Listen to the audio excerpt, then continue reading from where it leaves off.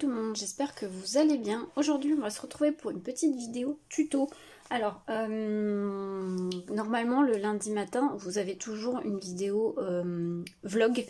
Euh, là, exceptionnellement, je vous la décale au mercredi matin parce que je voulais inclure le lundi férié dans le vlog. comme j'avais prévu de travailler dans l'atelier tout, enfin, ce lundi férié, je me suis dit pourquoi pas l'inclure dans ce vlog. Et donc aujourd'hui, je vais vous proposer un petit tuto. Et comme du coup, le samedi, donc euh, le 6 mai était la journée euh, du scrapbooking. Je me suis dit, bah voilà, il y avait plusieurs boutiques qui ont fait des défis euh, et dont la boutique Scrap Didi et euh, j'avais envie de participer euh, un petit peu. Alors je voulais pas, j'ai pas le temps de faire tous les défis. Il y en a beaucoup qui me plaisaient, beaucoup de boutiques en ont proposé. Voilà, là je suis partie sur le défi numéro 1 de Scrap Didi. Donc il y avait un bingo et donc fallait réaliser un, un projet avec soit donc il y avait un tableau avec plusieurs euh, plusieurs euh, choses. Et du coup il fallait choisir en diagonale. Enfin vous connaissez un peu euh, le principe d'un bingo. Et là j'ai choisi de travailler donc avec la collection la mécanique du temps de Scrap Didi une des dernières collections sorties. Moi je l'ai acheté à version scrap. Et pour objectif moi je vais euh, prendre euh, donc le il fallait faire euh, donc dans ma ligne enfin non j'ai pris une colonne proposée.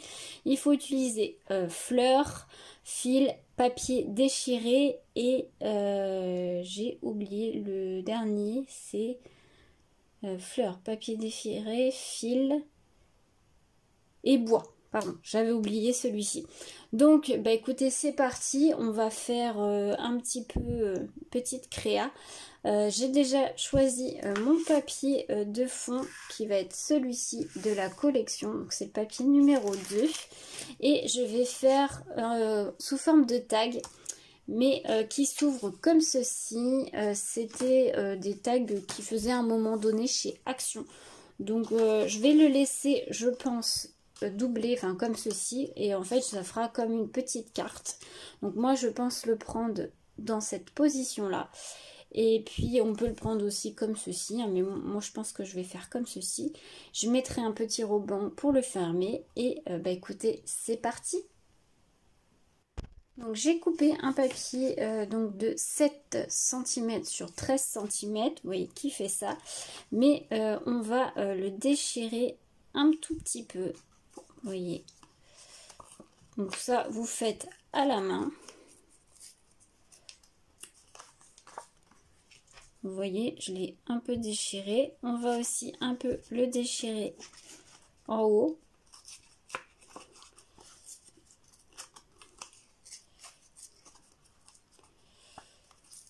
Hop.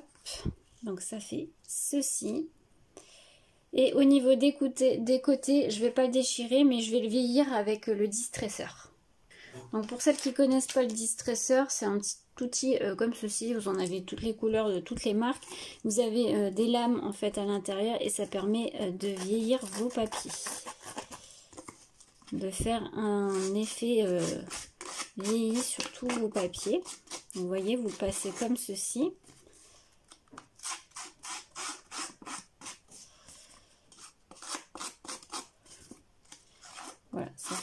Un aspect vieilli. moi, je vais faire vraiment sur les côtés. Voilà. Hop. Et en fait, je vais venir le coller là. Avant de le coller, je vais l'ancrer pour vieillir un peu plus mon papier. Donc, je vais prendre la, prendre, pardon, la Distress Oxide Vintage Photo. Et euh, je vais venir ancrer. Pour le vieillir un petit peu, enlever euh, les flets un petit peu blancs du papier.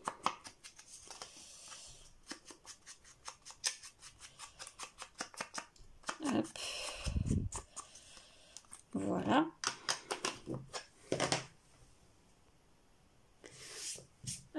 Et ensuite, bah écoutez, je vais venir le coller. Euh, ce que je vais faire, c'est que je vais mettre vraiment de la colle au milieu pour laisser euh, les bords un peu dépassés. Je pense mettre des choses euh, en dessous qui vont peut-être dépasser un peu. Donc je vais vraiment mettre de la colle que au milieu. C'est flou. Pourquoi c'est flou? La mise au point ne veut pas se faire. Donc on va prendre de la colle et on va en mettre vraiment au milieu. J'aurais pu mettre un peu de 3D, c'est vrai. Mais bon, tant pis. Je vais le laisser comme ça. Et donc, on va quand même le centrer. Hop. Je viendrai peut-être coller un peu... Euh, là, je vais peut-être venir finalement. Quoique, je vais attendre de voir. Je voulais coller peut-être ce côté-là quand même. Je vais venir coller ce côté-là et ce côté-là aussi. Voilà. Comme ça, j'ai ce côté-là qui va revenir un petit peu. Vous pouvez rouler un peu votre papier. Pour l'instant, je ne le roule pas. Je mets juste comme ça. Ensuite,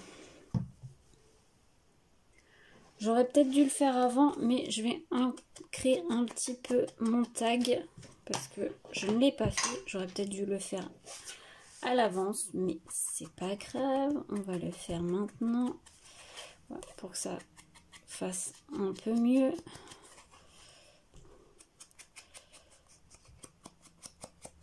Voilà. Donc ça rentre comme ceci. Et donc maintenant, on va euh, mettre d'autres petits éléments pour décorer. Alors j'ai mis un peu de fil hors caméra euh, comme ceci euh, hors. Comme ceci, c'est un gros rouleau que j'avais eu chez Nose. Je l'ai accroché un peu avec du double face. Donc ensuite, il va falloir l'élément fleur. Alors l'élément fleur, je voulais le faire avec un des tamponnages. Alors, lequel choisir? Je ne sais pas. Est-ce que je choisis la clé, la serrure ou euh, les petites fleurs comme ça? Je ne sais pas, je ne sais pas. Euh, pas la clé, je pense pas. Je pense que je vais faire les deux et puis euh, je verrai lequel je vais mettre. Donc bah écoutez, je vais tamponner hors caméra et je vous retrouve après. Voilà, mes tamponnages c'est fait, donc j'ai fait euh, voilà comme ceci. Là je vais vous passer un petit peu la colorisation. Euh, je vais coloriser je voudrais faire le tour de la serrure en or et les engrenages aussi au niveau des fleurs. J'ai pris une euh, peinture acrylique que j'avais de chez Trésor. Il me semble que je l'avais eu dans euh, le calendrier de l'Avent de euh, Horizon Créative. Il me semble, hein, je suis pas sûre de moi. Donc je vais prendre un pinceau vraiment à pointe très très fine et je vais carrément prendre dans la peinture dans le bouchon et en fait je vais venir mettre la couleur or là sur le bord de la serrure sans essayer de trop dépasser. Et donc je vais remplir tout le bord de la serrure et les engrenages. Voilà, donc alors le fond de la serrure, j'ai fait avec euh, la Distress Oxa Vintage Photo que j'ai aquarellisé. Et là, on va faire les fleurs avec un tombeau comme ceci. Euh, c'est le numéro 772 si vous voulez avoir la couleur. Voilà, je vais juste euh, mettre un peu de couleur sur les fleurs. Donner un petit côté rose. C'est un vieux rose, hein, comme un peu les tons de la collection. C'est euh, des crayons qui peuvent s'aquarelliser. moi, je pense pas les aquarelliser. Je pense que je vais laisser comme ceci, euh, tout simplement parce que j'ai envie que les fleurs ressortent un peu plus. Voilà, mais euh, sachez que vous pouvez aquarelliser euh, ces feutres. Pour celles qui ne connaissent pas. Voilà. Et puis on va faire les petites fleurs qui sont au niveau de la serrure.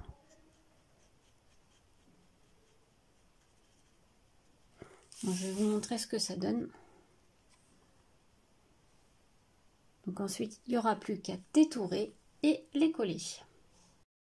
On passe à la déco. Du coup, j'ai pris euh, du bois, comme euh, dans le bingo, il fallait du bois. Donc j'ai pris des feuilles en bois qui viennent de chez Sagapo Scrap, je crois. Je vais en mettre une en haut, en dessous du papier. Et je vais en mettre une en bas, ici, pareil, en dessous du papier. Je vais les mettre comme ceci. Donc je vais les coller à la colle. Donc là, je vais mettre de la colle. J'en ai mis beaucoup trop, c'est pas grave. Ça va pas se voir. Et je vais la glisser en dessous. Voilà.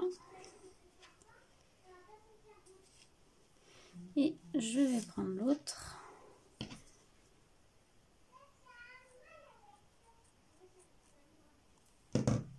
c'est pareil que je vais glisser en dessous. Voilà. Ensuite, celle-ci dépasse un peu, mais moi, ça me dérange pas. Ensuite, euh, je vais prendre ma petite serrure que j'ai découpée. Je pense la mettre là. Je vais mettre des petits feuillages. Je pense en mettre un en dessous comme ceci et un en dessous comme ceci que je vais coller, je pense, en 3D. Ensuite, je prends... Euh, enfin, la serrure va être collée en 3D, pardon. Celle-ci qui va aller, je pense, ici. Je vais essayer de bien placer euh, au niveau de mes petits fils. Mon petit mot que j'ai découpé de la collection, que je pense mettre par là. Et j'ai pris trois petites fleurs blanches, des toutes petites, que je pense mettre ici. Que je vais vieillir un peu avec de l'encre pour euh, pas trop euh, que ça fasse trop, trop blanc. Voilà, je pense faire ça comme ça. Donc bah écoutez, c'est parti. Voilà, donc j'ai collé les petits feuillages, j'ai mis du double face 3D. Euh, j'ai mis deux couches de 1 mm, comme ça au moins il y a un petit peu plus d'épaisseur. Donc je vais venir la coller. Je vais les mettre euh, là, ça me paraît pas mal. Voilà. Là, je vais recouper un peu euh, mes petits fils. Je veux pas trop que ça dépasse. Ensuite, finalement, mon fil, on va pas trop le voir. Bon, c'est pas grave. Hop, je vais mettre ça, je pense, ici. Donc là, je vais mettre juste de la colle de ce côté-là. Euh, pour que ça puisse coller. Est-ce que je mets du 3D Non, je mettre juste de la colle. Et je vais coller ça ici.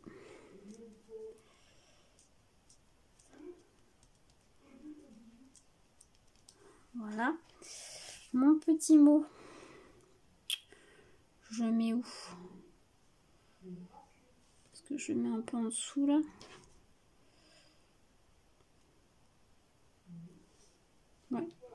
Donc c'est pareil, je vais mettre de la colle.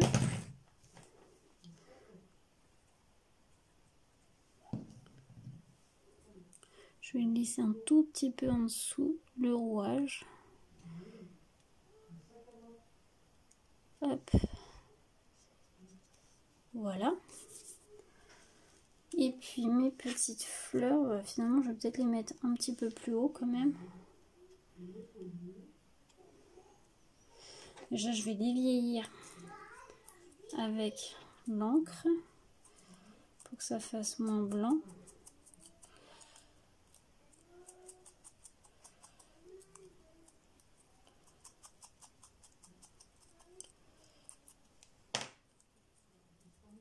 Qu'est-ce que ça donne? Ouais, sinon ça fait du vide. Je me pose la question. Du coup, du coup, j'ai changé d'avis. Je vais mettre un petit embellissement en bois comme ceci. Le mot partage. Et je vais le coller juste là. Voilà, pour faire un... Oh, bah j'ai mis trop de colle, mais c'est pas grave. Heureusement, elle sèche en transparent. Donc ça se verra plus. Et j'ai mis un ruban euh, en organza rose pour le fermer la petite carte. Comme ceci. Donc voilà euh, ce que donne euh, cette petite créa pour ce défi Scrabidi. Donc j'espère que ce tuto vous aura plu. Et puis vous retrouverez, je pense mettre quelques petites paillettes par-ci par-là au niveau des fleurs. Donc vous retrouverez les photos euh, de plus près sur mon compte Insta. N'hésitez pas à m'y retrouver, c'est les loisirs d'Elodie comme la chaîne YouTube. Je vous souhaite une très belle journée à tous. À bientôt